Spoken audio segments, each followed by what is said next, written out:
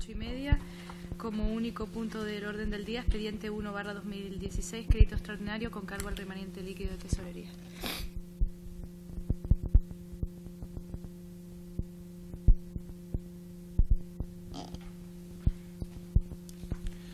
Propuesta de acuerdo del expediente 1 barra 2016 por crédito extraordinario con cargo al remanente líquido de tesorería del vigente presupuesto de la Corporación. Julián Artemi Artiles Moraleda, concejal delegado en materia de Economía y Hacienda eh, del Ilustre Ayuntamiento de, Mogán, en virtud de las atribuciones delegadas que me confiere la legislación vigente de haciendas lo locales, dispongo. En uso de las facultades que me confiere la, la, vigente legislación del régimen local y vistos los informes emitidos por el interventor general relativos a la modificación presupuestaria por crédito extraordinario expediente 01-2016 por importe de 220.000 euros, con cargo al remanente líquido de tesorería del ejercicio 2016, se propone al Pleno la, adopción del siguiente acuerdo. Primero, aprobar inicialmente el expediente 01-2016 de modificación del presupuesto general del Ilustre Ayuntamiento de Mogán para el ejercicio 2016 mediante crédito extraordinario, suplemento de créditos con cargo al remanente líquido de tesorería por importe de 220.000 euros con el siguiente detalle. 1. Modificación de créditos, estado de gastos. Eh, voy a leer la, descripción y los créditos totales que se modifican. Vías públicas, personal temporal, plan de empleo social del Cabildo, eh, 150.000 euros. Vías públicas, seguridad social, plan empleo social del Cabildo, 50.000 euros. Y vías públicas, gastos varios, plan empleo social del Cabildo, 20.000 euros. Total grupo de programa 170, 220.000 euros. Dos, financiación de la modificación estado de ingresos, remanente de tesorería para gastos generales, 220.000 euros. Total financiación de la modificación, 220.000 euros. Segundo, exponer al público el, acuerdo de aprobación inicial mediante anuncio en el Boletín Oficial de la Provincia y en el tablón de anuncios municipal por un plazo de 15 días, durante los cuales los interesados podrán presentar las reclamaciones que estimen convenientes ante el Pleno. En el caso de que no se presentaran reclamaciones durante el periodo de exposición pública, se considerará definitivamente aprobado el expediente 01-2016 de modificación presupuestaria por crédito extraordinario, entrando en vigor una vez cumplido lo dispuesto en el artículo 169 del texto refundido de la Ley Reguladora de las Haciendas Locales. Bien, doña Isabel. Sí, buenos días. Desde Nueva Canaria siempre hemos apoyado iniciativas de este tipo. No me refiero solo a simples modificaciones presupuestarias que luego no da tiempo a ejecutar, sino a expedientes que tengan una incidencia directa en la vida de aquellos que peor lo están pasando.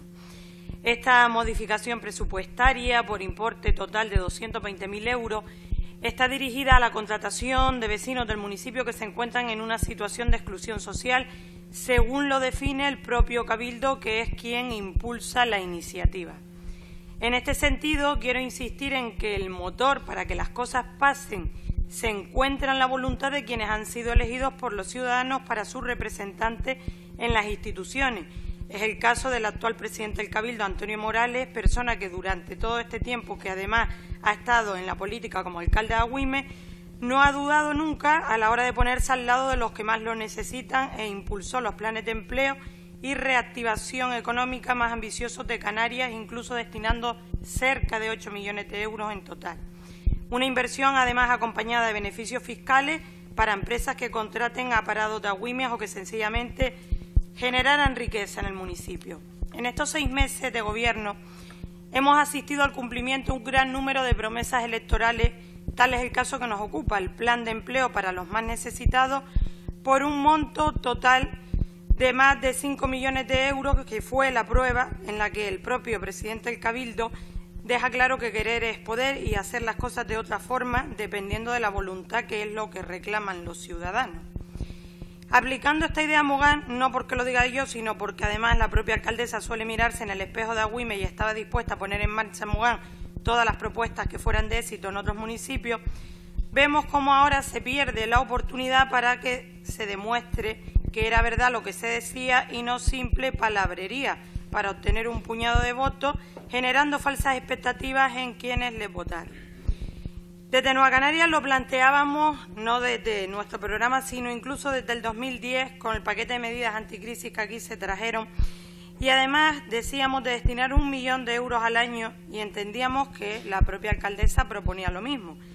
Sin embargo, ahora no solo no lo hace perdiendo una oportunidad muy importante para demostrar a todos que no está cumpliendo sus promesas electorales, sino que pone de manifiesto que su idea de plan de empleo es la misma que tanto se criticó desde el anterior grupo de gobierno. Me explico. Es cierto que destinan más dinero a este plan de empleo que lo que destinó el Partido Popular en el anterior mandato. Sin embargo, lo hacen en una cuantía de tan solo unos 75.000 euros más. Criticaban que los beneficiarios eran muy pocos y que el proyecto solo iba a beneficiar a 35 personas y ahora resulta que con esto es 44, 9 más de los que se beneficiaban con el PP en un municipio donde prácticamente hay 2.000 parados. Los planes de empleo en los que participó este ayuntamiento con anterioridad ascendieron a la cantidad total de 252.000 euros en el 2014, 253.000 en el 2015. Y ahora se va a contar con un presupuesto, según los datos que ustedes mismos le han facilitado al Cabildo, de 294.839 con 64 céntimos de euros, es decir, unos 43.000 euros más. Desde luego entendemos que es un insulto a los vecinos de Mogán, sobre todo porque parece que la alcaldesa se comporta hasta como el propio Rajoy, incumpliendo su programa. Y la primera entrevista, concretamente, la que le hizo el Canarias 7, aquí viene reflejado que, por supuesto, va a destinar en su prioridad, que es el plan de empleo, un millón de euros y le pregunté, ¿y tiene dinero? Sí, tiene dinero. Y esto son palabras que vienen ahí reflejadas. Me resulta muy difícil de entender que no sean capaces de destinar un millón de euros a financiar un plan de empleo a la altura de las, de las necesidades de este municipio, porque parece que entonces sería decir que hablar es muy fácil, pero hacerlo es otra cosa. Mientras ustedes quieren repartir limosnas, unos 200.000, nos enteramos por el Cabildo que los datos que han remitido están mal. Y esto lo dice el mismo Cabildo en la fecha de resolución de fecha, perdón, del 23 de diciembre, que dice lo siguiente. La solicitud formulada por el Ayuntamiento, concretamente el presupuesto de gastos e ingresos del anexo 2, presenta un déficit de financiación por cuanto que la suma de los gastos por categoría profesional y número de trabajadores ascienden a 295.211 y los ingresos a 294.976. Termino ya aquí. El ajuste que esto implica supone que la aportación municipal no sea de 200.000, sino de 199.863, por lo que entiendo que el expediente estaría mal y deberían subsanar este error advertido por el Cabildo desde el 23 de diciembre. Dejo solicitado un segundo turno. muchas gracias, doña Pino. Sí, buenos días. Desde luego, desde el Partido Socialista vamos a apoyar esta propuesta como no podía ser de otra manera, porque como llevamos años diciendo, el desempleo es el principal problema que tienen los ciudadanos y nuestros vecinos y vecinas de Mogán y por ello debe ser la prioridad para cualquier grupo de gobierno. Eh, nos hubiera encantado y en un primer momento así iba a ser poder destinar un millón de euros para esta para esta propuesta que traemos aquí hoy. Y desde luego, eh, como acaba de decir la portavoz de Nueva Canaria, en un primer momento ese iba a ser la ficha financiera de este plan de empleo. Pero, sin embargo, las circunstancias que nos hemos visto forzados y obligados de alguna manera a asumir deudas de grupos de gobierno anterior, eh, nos han visto obligados a remodelar y a tener que adaptar esto ahora mismo con prudencia a lo que en este momento podemos financiar, sin abandonar el resto del dinero que queremos invertir durante este ejercicio, pero en este momento tenemos que ser cautos y tenemos que ser prudentes con el dinero público, que es de todos y de todas. Y eh, en este momento a este plan de empleo social eh, que saca efectivamente el Cabildo de Gran Canaria y que preside eh, don Antonio Morales de Nueva Canarias, pero en el que forman parte del grupo de gobierno también el Partido Socialista y Podemos, a que también hay que valorar que también están asumiendo un compromiso con el empleo, no solo lo asume y se compromete Nueva Canarias. Eh, como decía, eh, vamos a seguir en la lucha desde este grupo de gobierno de Mogán para que nuestros vecinos y vecinas tengan esa necesidad básica del empleo atendida. No abandonamos en este primer paso, nos adaptamos a la situación económica que tenemos en este momento por prudencia, pero desde luego vamos a seguir luchando para que el empleo sea una realidad en este municipio y poder atender el principal problema que tienen nuestros ciudadanos. Gracias. Doña Pino, doña Mari Carmen. Sí, buenos días. Sabemos que por mucho que a ustedes les moleste que lo digamos, se han encontrado un ayuntamiento saneado y eso le permite venir hoy aquí con este expediente para utilizar el remanente líquido de tesorería. Y esto sucede porque ustedes no han sido capaces de traer tampoco a este Pleno la aprobación del presupuesto general, la aprobación inicial del presente año. Y no vengan con excusas, y ya doña Pino las están anunciando, que van a querer usar durante todo el mandato.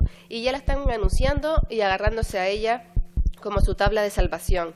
Y al paso que va en el presupuesto no lo van a llevar ni siquiera al pleno ordinario del mes de enero, como se dijo en el anterior pleno, ya que a fecha de hoy aún no han convocado ni siquiera la Mesa General de Negociación para negociar con el, capítulo 1 con las distintas fuerzas de los sindicatos, salvo que lo sigan haciendo de la misma forma que negociaron la subida de los sueldos de sus simpatizantes, convocando a los sindicatos de un día para otro y sin mediar y respetar los plazos establecidos. Doña María.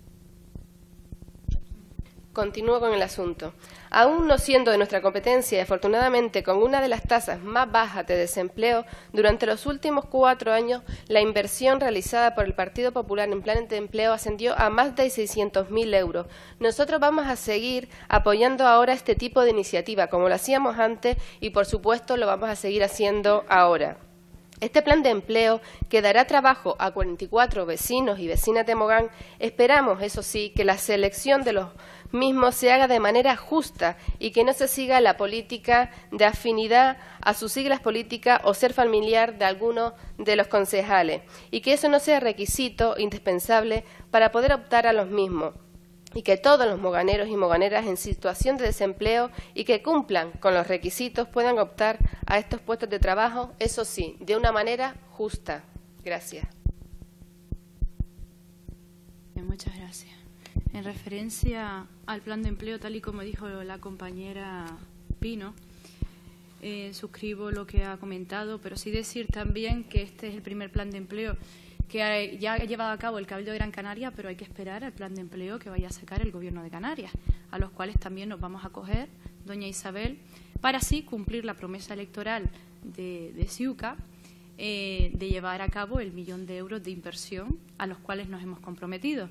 Pero sí es cierto que vamos a destinar estos 200.000 euros en el plan de empleo del Cabildo de Gran Canaria.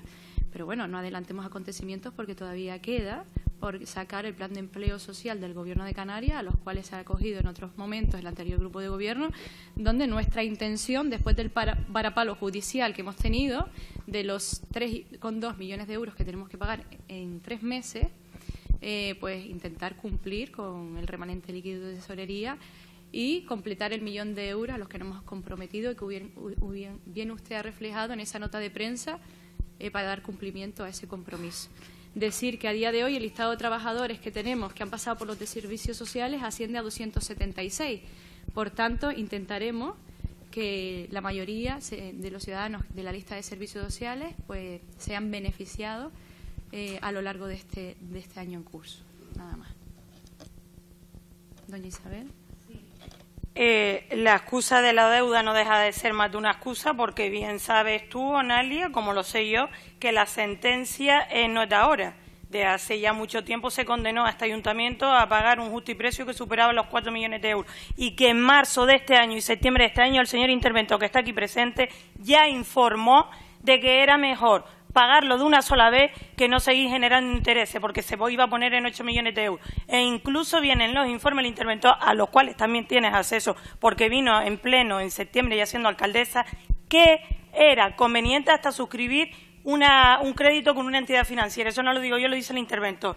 Por tanto, no es más que una excusa porque además si hubiese habido voluntad no tenemos que esperar al del Gobierno de Canarias, porque la promesa fue de Ciuca, como tantas otras, como tantas otras que no iba a despedir a nadie y nos hemos encontrado lo contrario. Claro que hay que ser cauto con el dinero, Pino, por eso desde Nueva Canarias no apoyamos la subida de sueldo de los simpatizantes de Ciuca, faltaría más.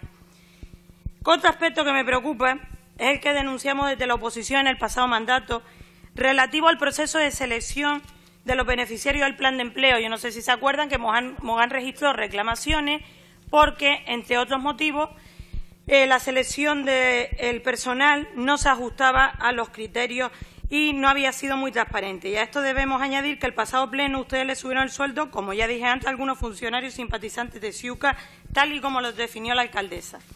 El Cabildo en este sentido dice, y cito textualmente, las subvenciones irán destinadas a la contratación laboral por los ayuntamientos beneficiarios de personas desempleadas inscritas como demandantes de empleo con estricta sujeción a los requisitos. Esto supone que es el ayuntamiento y no el cabildo el responsable de la selección y de la contratación, por lo que nada garantiza que ustedes tomen la decisión más justa y nada asegura que quienes más lo necesitan sean los más beneficiarios de estos puestos de trabajo.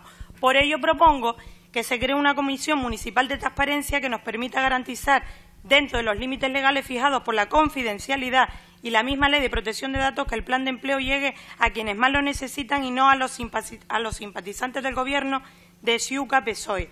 Entiendo que no deben poner reparo a esta propuesta porque la oposición, toda la oposición, la entendía como necesaria en el anterior mandato, por lo que si la rechazan lo que harán será poner en manifiesto que el cambio de sillón es la causa del cambio de opinión. A modo de conclusión, desde Nueva Canarias solicitamos que se aclare cuál es la cuantía real que aporta el Ayuntamiento en atención a lo expresado por el Cabildo en el decreto al que antes hice referencia. Entendemos que este plan de empleo, que solo va a llegar a 44 desempleados de los casi 2.000 que tiene el municipio, no solo es insuficiente, sino que pone de manifiesto que incumplen sus promesas electorales porque se destinó por parte de la alcaldesa, se prometió destinar un millón de euros, llegando a afirmar que tenía dinero. Estemos este confirmado por el mismo concejal de Hacienda. Voy terminando ya. Entre otros motivos, porque se deja claro que existe un remanente de tesorería, tal y como viene el expediente, que supera los 11 millones de euros. Por tanto, de no atender ninguna de estas peticiones, entre otras la creación de una comisión municipal de transparencia que garantice la limpieza en las adjudicaciones de los puestos, nosotros dejaremos claro que ustedes vuelven a demostrar que son el recambio de aquel al que tanto combatíamos. Esperemos que no se conviertan en una nueva ocasión perdida para Mogán, que desde luego ya lo han dejado claro que lo ha sido. Muy bien, muchas gracias, doña Pino. Y nada, eh, aclarar a doña Mari Carmen que tal y como le veníamos diciendo desde el Partido Socialista en la legislatura anterior, efectivamente dejan unas cuentas saneadas y unos cajones llenos de facturas. Facturas que este grupo de gobierno tiene que asumir ahora. Facturas como las de a pesar de lo que diga la portavoz de Nueva Canaria, la sentencia ha llegado en diciembre, eh, en la que nos dice que nos dan tres meses, tres meses para pagar el justiprecio de esas expropiaciones de las parcelas de alrededor del cementerio del pueblo de Mogán.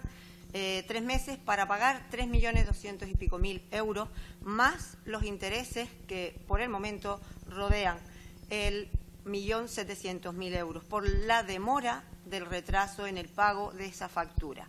Por lo tanto, esa es una y una sola, porque vienen más, doña Mari Carmen, como usted bien sabe, viene otra de un millón y pico de euros, pero además viene otra por la incompetencia del Partido Popular de no haber sido capaz de cumplir el convenio para llevar adelante la obra del centro sociocultural que tenemos aquí al lado, en el que ustedes tenían dos años para ejecutar esa obra. Transcurrieron los dos años y ahora vamos a vernos obligados a devolver un millón seiscientos mil euros al Cabildo de Gran Canaria o, lo que es lo mismo, asumir nosotros con fondos propios el dinero para pagar esa, eh, esa obra que ahora mismo hemos incumplido los plazos que ustedes se comprometieron a asumir. Por lo tanto, cajones llenos de facturas, doña Mari Carmen. Eso es lo que ustedes nos han dejado y eso es lo que nosotros tenemos que resolver.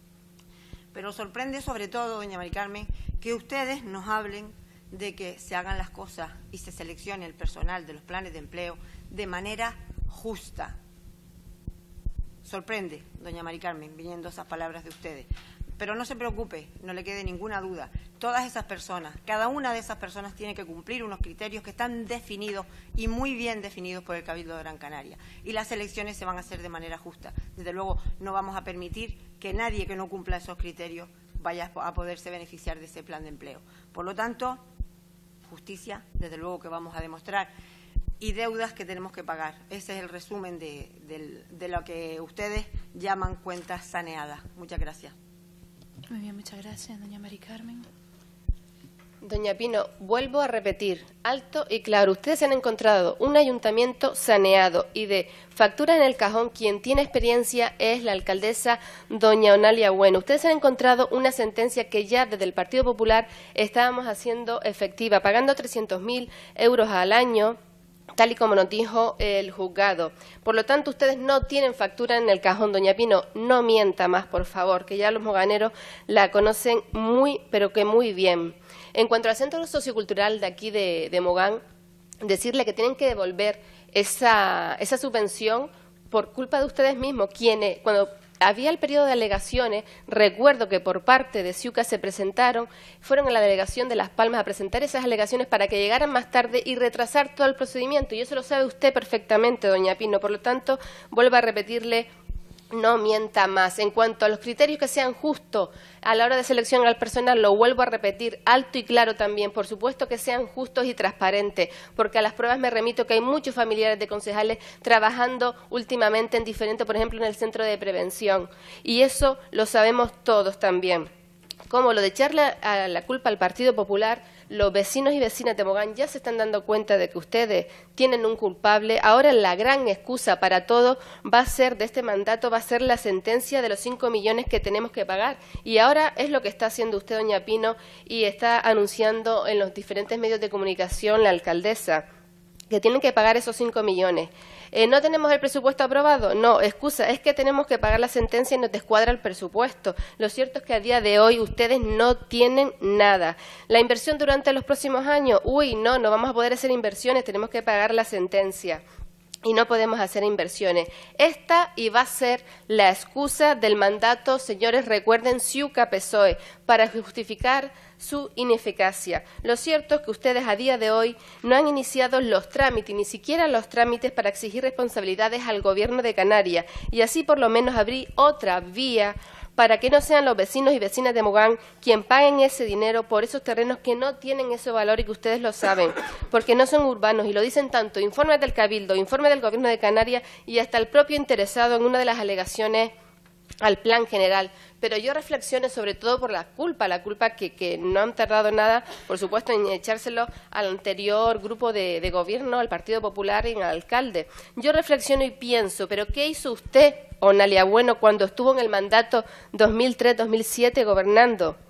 Claro, usted dice, no, yo no era el alcalde. Usted también formaba parte, doña Analia, del grupo de gobierno y no hizo nada, siendo usted la mano derecha del, alcalde por aquel entonces. Todo es, ya voy terminando, doña Analia. Todo es el alcalde y culpa de todos los males de este municipio siendo él su obsesión, fue su obsesión y sigue siendo su obsesión personal. Y ahora dirá el señor Mensei, todo es culpa del Partido Popular y culpa del alcalde, ese que la arrojó a los pies de los caballos. Vaya terminando, Termino ya, doña Analia. Yo le digo a usted, señor Mensei, no tenga usted cuidado que lo vayan a arrojar a usted a los pies de los juzgados, señor Mensei, sino tiempo al tiempo. Y ya termino. Y por supuesto que vamos a apoyar este expediente de crédito extraordinario para que las 44 eh, vecinos y vecinas de nuestro municipio en situación de desempleo se vean beneficiadas, eso sí, esperando, vuelvo repito, doña Pino, una selección de personal justa y transparente. Muchas gracias. bien. Eh, sí me gustaría que el señor secretario, en base a las alusiones que no han tenido nada que ver con este expediente, pero sí del pago de los tres meses que nos ha interpuesto la justicia para pagar, me gustaría que se pronunciara el señor secretario.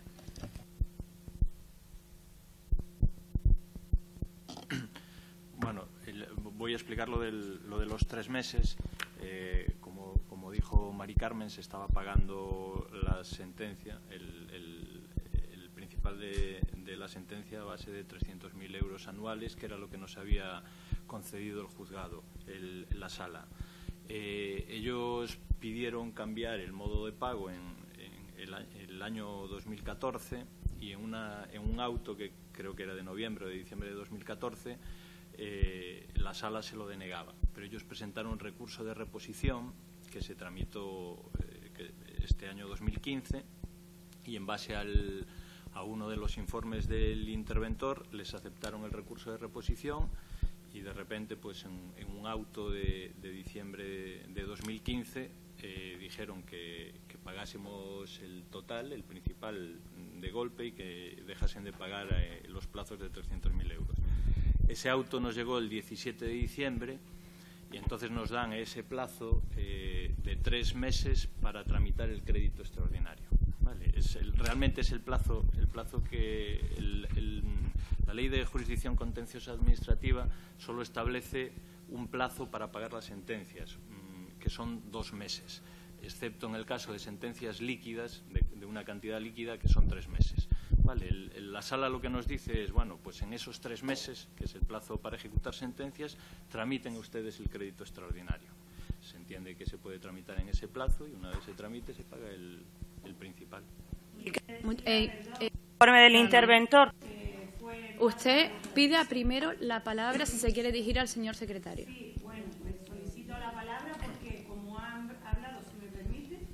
De todas maneras, yo he hecho una única aclaración en base a las alusiones. No estamos hablando de este expediente y vamos a someter a votación. No tienes la palabra, Isabel. Isabel, no tienes la palabra. Isabel, no tienes la palabra. Te llamo al orden. Primera llamada al orden. Segunda llamada al orden a la segunda llamada al orden te advierto a la tercera y ya sabes cuáles son las consecuencias, ¿vale? Así que nada, sometemos a votación en relación a este expediente. En relación al Centro Sociocultural, doña Mari Carmen, cuando el Cabildo nos diga ya la decisión definitiva, traeremos este expediente monográfico para saber cuál es la realidad del Centro Sociocultural. Y espero, Isabel, que te haya quedado claro lo que ha hecho el interventor. ¿Votos a favor? Yo voto a favor, pero he dicho que el expediente venía mal si se iba a modificar. Muchísimas gracias. Señor secretario, el expediente viene la propuesta mal, tal y como viene el decreto del Cabildo. No habla de 200.000 euros. Lo dice el decreto del Cabildo. No, yo lo digo que hago